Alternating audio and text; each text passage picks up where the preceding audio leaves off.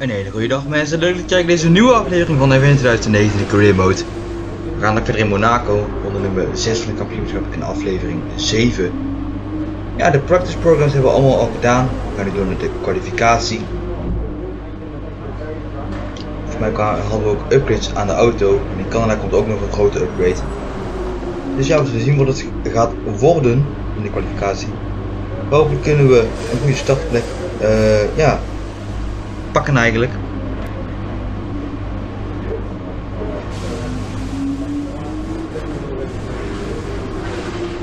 We hebben ook volgens mij ook een uh, nieuwe berichten. Bewolkt. En dan gaan we gelijk doen naar de kwalificatie.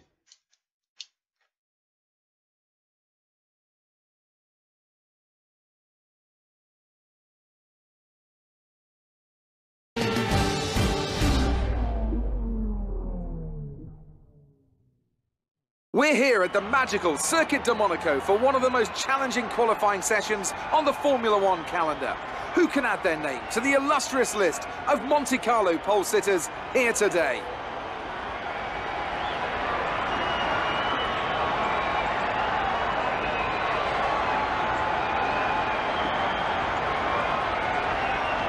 Now then, Anthony Davidson, you're not getting any younger, but you have been involved in your fair share of qualifying sessions in a, an illustrious 30-year career. How do you deal with the pressure when you have that one chance to deliver a perfect lap? It's not so much about dealing with the pressure, it's more about how you approach the risk and just how much of it are you willing to take. You're constantly balancing the car on the edge of grip from braking, cornering and traction. And over the course of a lap, it's easy to get that balance wrong, and that's why achieving the perfect lap is almost impossible. As you say, I've been doing this 30 years now, and it never gets any easier.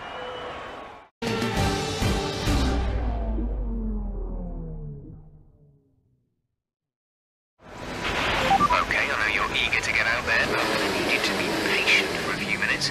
We're just trying to zero in on an oil leak. Oké, okay, ja, dus we hebben een probleem zie ik. En ja, we moeten gewoon nu afwachten tot de tijd verlopen is. Wat meer kunnen we niks doen helaas. Bewolkt zie ik.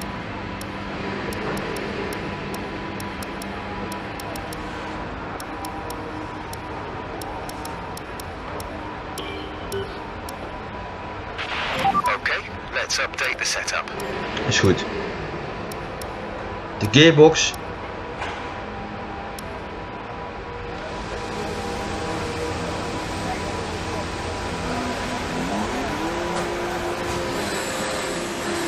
Andere mensen gaan er ook wel uit hoor ik.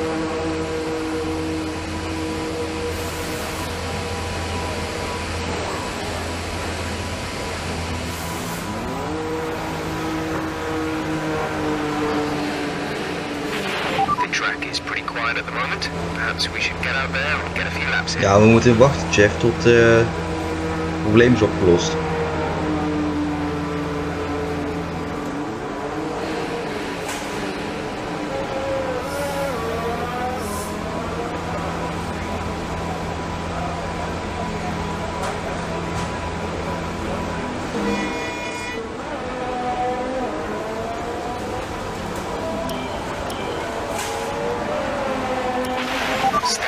We gaan dus een outlap doen.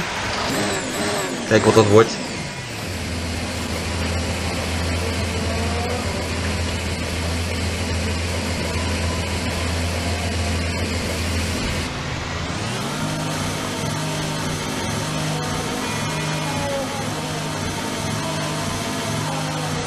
Bottas heeft in ieder geval de snelste ronde gezet. Wij moeten nog een ronde gaan beginnen.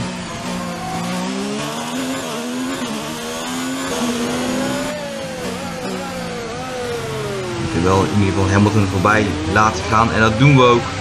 We staan we bijna helemaal stil en dan kunnen wij nu onze ronde gaan beginnen. Diaret is geopend. Als we gaan kijken wat het wordt.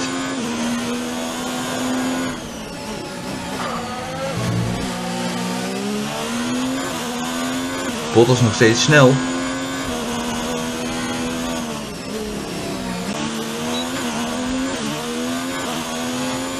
Inmiddels aankomen het langrechte stuk. En het is 1.15.3 op 1.8 seconden. En nu zouden wij uit fence at the end of this Q1 eh, zitten helaas. Dus we moeten ervoor zorgen dat we minimaal P15 zijn. Maar ik weet niet of dat gaat worden.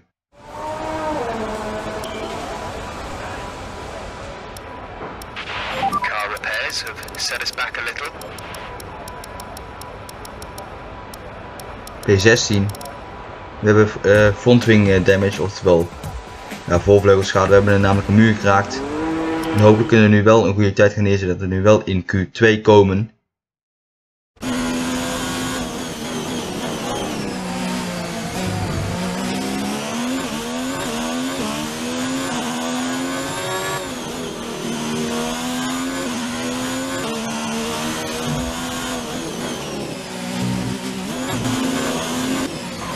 Nog 3 minuten en 35 op de klok.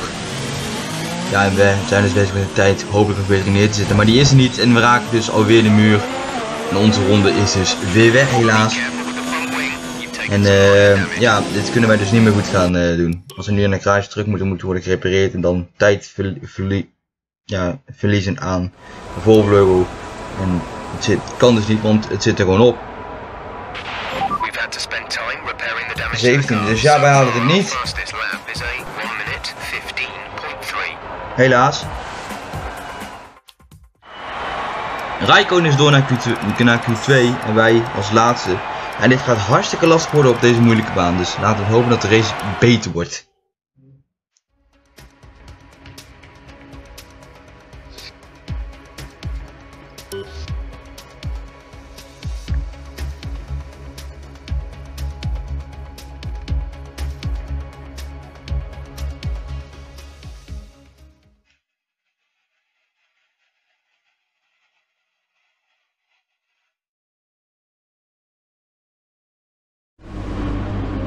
Naar de uitslag.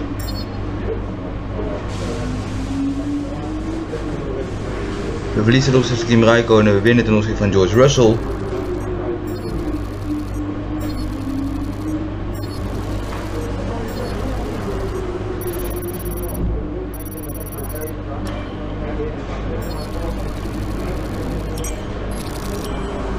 Tough luck there. It's not quite where we'd want to be on the grid, but chin up, Nou, laat het hopen, Jeff, laat het hopen. Gaan we nu door gewoon naar de race.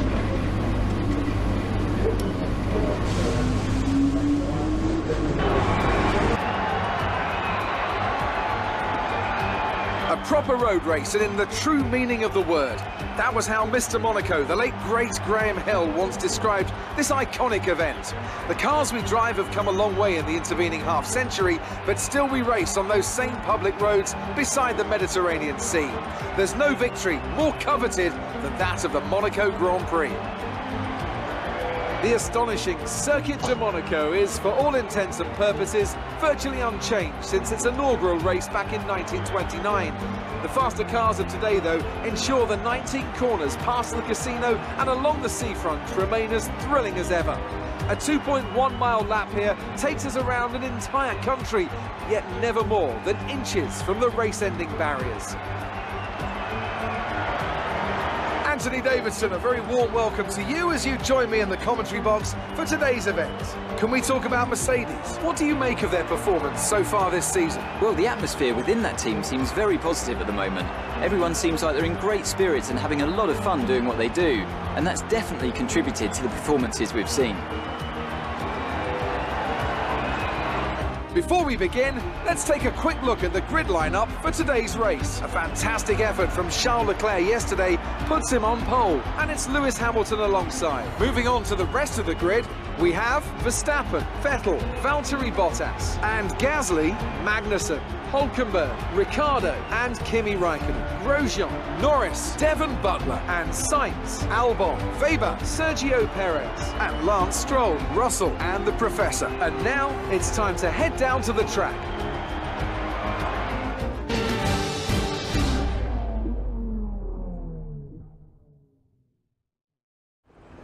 Nou, dat is dus de grid. No En mijn ingenieur adviseert gelijk om eh, niet te wild doen in Sandeford de eerste bocht. Want het kan daar gekke werk worden.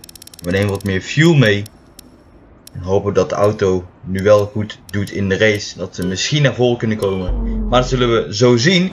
Want de lampen zijn officieel aan voor de grootprijs van Monaco Career aflevering 7. En we zijn onderweg. En we komen niet zo lekker weg. Want Russell en Stroll hebben en uh, Weber hebben zelfs een betere start. Maar het is hier wat krapjes. Het gaat allemaal goed. Kijk, we hebben een betere exit dan George Russell en Lucas Weber. We laten hem staan Weber is naar de hart, maar we raken elkaar wel. Oh, hij zit er nog zo. Hij raakt Perez zelfs. Lucas Weber, agressief in de openingsronde. Bijna P19. We kunnen hier een uh, maken, maar we raken Lucas Weber. Dus we gaan even een flashback doen, want ik wil niet dat onze vogel beschadigd is. Oh, gaat hij wel goed? Ja, het gaat hij wel goed. Perez kijken we, maar helaas. En we duwen Lucas Weber wat richting de muur. Oh, het is hier vol op de rem. En Perez laat hem niet staan. Ja, die liet hem wel staan, sorry mijn fout. Ja, want we raken ook Perez. En Perez uh, die moest daar even, even langzaam. Want uh, ja, hij hield ook Lucas Weber en uh, George Russell op. En die moeten naar Landstrol doorrijden als het kan, hoop ik. Oh, ja. Lekker dan. We hebben de achterkant uh, geraakt. Een virtual safety car door ons. Oh, ja. We komen net voor Lucas Weber uh, weer de baan op.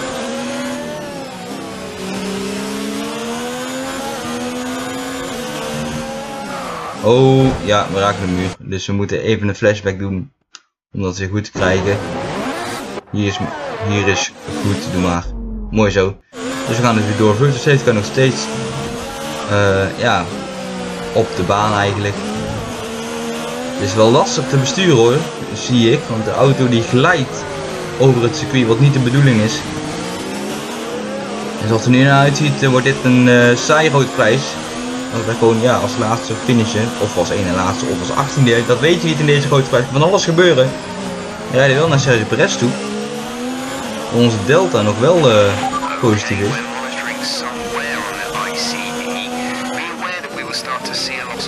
De ICE hebben we dus problemen mee. Misschien kunnen we die in Canada vervangen. Virtual Safety Car, uh, die gaat dus weg. Hoppa, en daar komen we gelijk met aan op Sergio Perez in die krappe Mirabeau bocht. Maar helaas. De happen.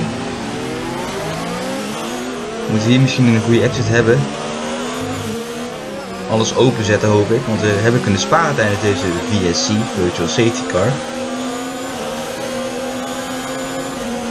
MGUH is ook een probleem. Dat is ronde nummer 4 en Perez is gewoon weggereden van ons. We hebben nu wel de druk van Lucas Weber achter ons. En George Russell rijdt daar ook nog. Zeg ik daar goed? George Russell rijdt daar ook nog. Ja, die rijdt er ook nog. Bij de Williams nog achter mij en dat is niet goed. Inmiddels ronde nummer 5. En uh, rood in de eerste en tweede sector, dat zal ook rood in de derde sector worden. Dat zal ook rood in de derde sector worden. Dat is ook rood in de derde sector. 6, 8 punt. Nee, sorry, 0.6 uh, langzamer dan onze beste lap. Lucas Weber is op de harde band gestart, dus hij gaat langer door, denk ik. Oh, de muur. We raken de muur, dus we hebben voorvleugelschade. En we gaan nu ook gelijk naar binnen. Als dat lukt, hoop ik. Oh, blokkerende wielen. Ja, vanwege die voorvleugel die is nu weg. Gaat allemaal goed hoop ik. Oh. En dan nu de tunnel. Kijken of we deze bocht ook goed kunnen nemen in de tunnel. Is dat de vraag. Ja, dat, is maar net, dat gaat maar net goed. Uitkomen tunnel, flink blokkeren. Blokkeren, dat zeg ik goed. Lucas Weber kijkt, maar helaas. Nee, dat weet ik ook wel, Jeff. Dus we moeten het nu heel rustig gaan aandoen in deze moeilijke grote prijs van Monaco. Oh. Ja, maar ik weet dus niet of Lucas Weber nu naar binnen gaat. Als hij nu niet naar binnen gaat, dan blijft ook vanuit. Gaat hij naar binnen? Oh, hij duikt naar binnen. Oh shit, hij duikt naar binnen. Nou, we zijn dus te laat. Inmiddels, uh, ja. Oh, we hebben volgens mij weer de muur geraakt. Oh. Ja. De tunnel uh, hebben we helaas gepasseerd en wij zijn dus uitgevallen. Helaas. In herhaling, kijk wat er is gebeurd. Dit is herhaling dus. Ja, we, we, verliezen het hier gewoon. Ja, dat is dus helaas nul punten voor ons in Monaco. Helaas. Nou, ja, we doen gewoon retire. Uitvallen dus. Helaas, maar niks aan te doen.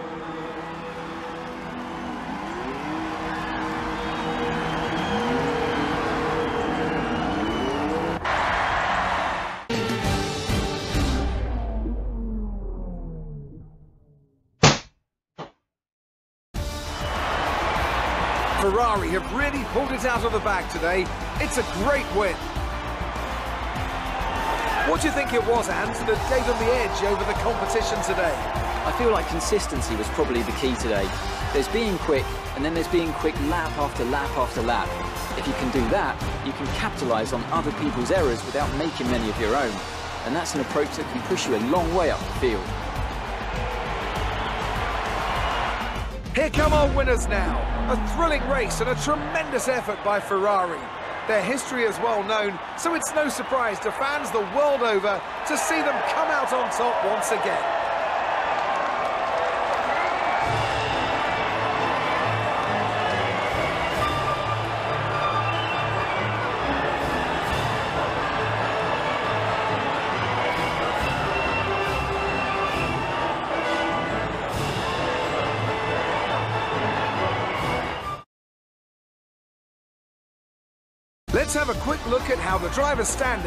Nou, de uitslag Leclerc wint dus de wedstrijd pakt ook het snelste punten, volle punten voor Leclerc.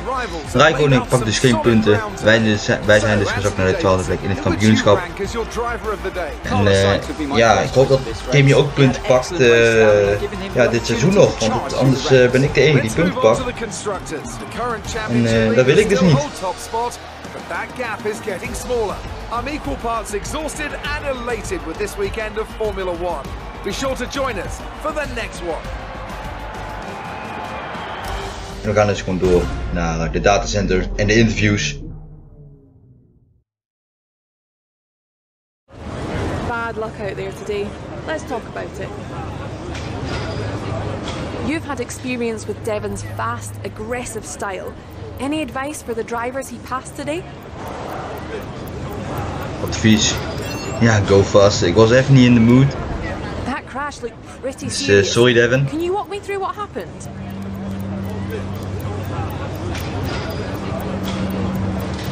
Ja, wat gebeurde daar dus? Ja, ik heb de downforce verloren. Ik weet niet of dat echt was, maar ik heb het gewoon zomaar gezegd.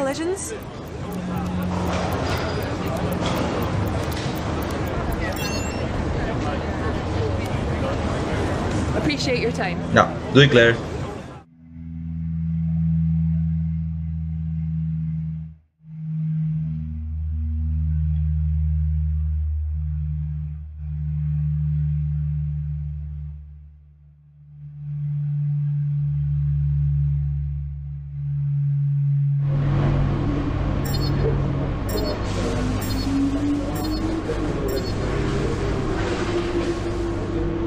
De resultaten. Ja, Kimi heeft deze rivaliteit dus gewonnen helaas.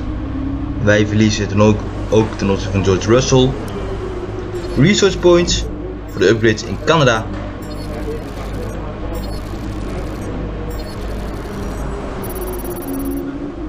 Er zijn er toch nog, toch nog best wel veel. Kwalificatie uh, team goal niet gehaald helaas. En de reputatie is uh, gezakt. Maar dat kunnen we gewoon weer opbouwen bij uh, ja, in Canada. We zijn dus wat meer teruggegaan richting de rookie. Well, let's hope for a better race next time out, eh? Ja, dat klopt. Nou, dit is dus de video mensen. Ik hoop jullie genoten hebben. Blijf van like als je genoten hebt. Abonneer mijn kanaal voor meer afleveringen van de Internet Date Career met MW Podcast Tweede Career. Regen hier wat beter kan op het worden voor mijn kunst aan de kanalen. Links in de beschrijving. Ja, en dan zou ik zeggen fijn dat we verder zien. Tot de volgende keer bij Internet Date Career Mode. Gaan we verder in Canada. Een fijne dag verder en tot ziens.